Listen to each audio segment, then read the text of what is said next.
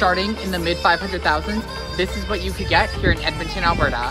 Let's go check it out.